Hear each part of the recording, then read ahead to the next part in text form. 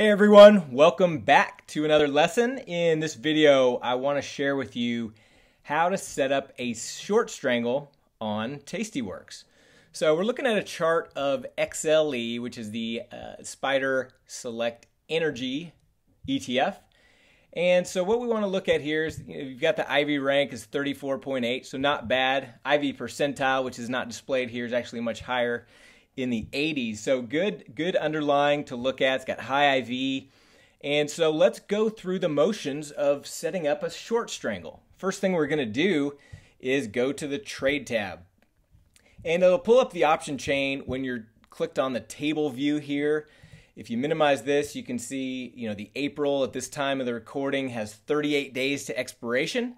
That's the one we want, right between 30 and 60 days.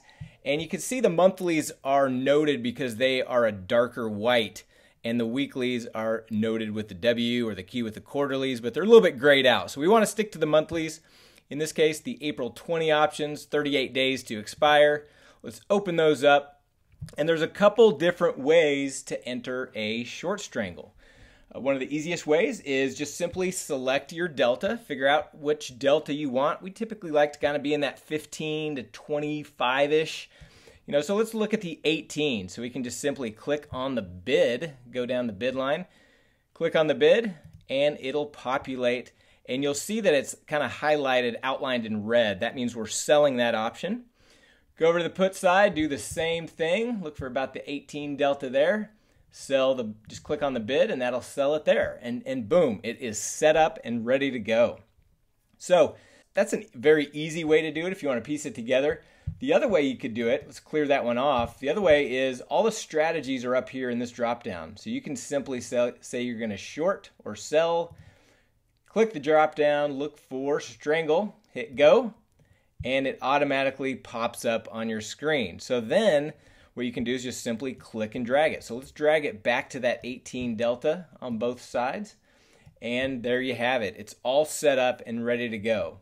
Now the other thing that you'll notice here is there's some statistics down below. This shows that there's a 69% probability of profit if we held it all the, all the way to expiration. But the other cool feature here is the P50. So this shows us the probability of this trade making 50% of max profit. In this case, we've got an 86% chance. Shows you the delta, the theta, max profit.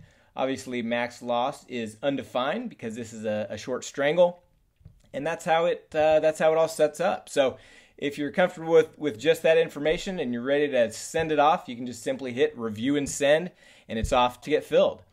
What I like to do because I'm a visual trader is I like to go ahead and take it over to the analysis mode. So what you do is just simply click on curve and then make sure the analysis box is also checked and that'll bring it up on your screen as the visual graph where you can kind of scroll around and, and see what your P&L and, and probabilities are uh, by looking in this little flag here.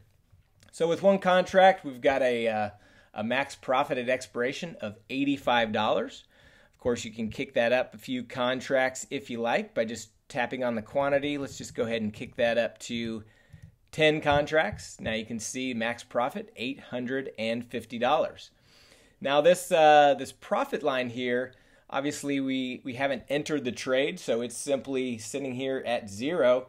But what if we wanted to take a look at a theoretical uh, movement in the stock? So we can we can look at the date. Today's the 13th of March 2018. But if we just click on this to move it through time, look what happens to our profit line. You can see it's going up, up, up as we move through time. Click back to today. The other thing you can look at is implied volatility. So you just look at the, the same options that we have on the screen, which are the April 20th, uh, 38 days to expiration, and you can play with the volatility. So if volatility increased, you can see our profit goes down, right? When we sell a strangle, we want volatility to contract. So if we show that contracting, you'll see that the profit line continues to increase as well.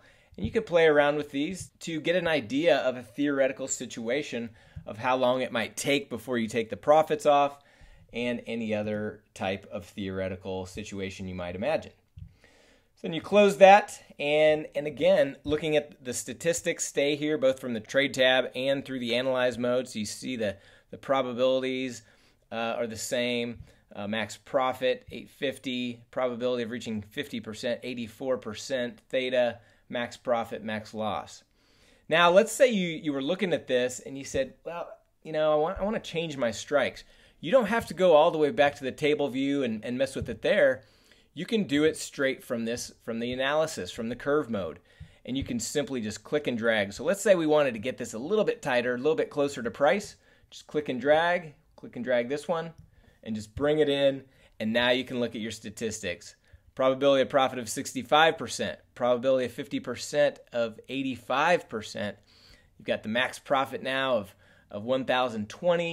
You can see your thetas adjusted, max profit, max loss, all set up and ready to go. And so when you're ready, just simply hit review and send, kick it off to your broker, and get it filled. So I hope that was helpful in showing you how to trade a short strangle in Tastyworks. See you in the next lesson.